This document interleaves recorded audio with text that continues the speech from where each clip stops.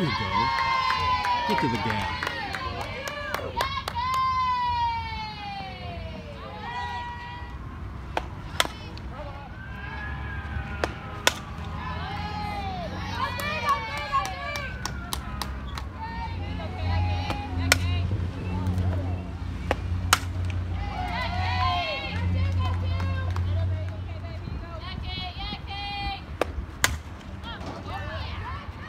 Get out of here.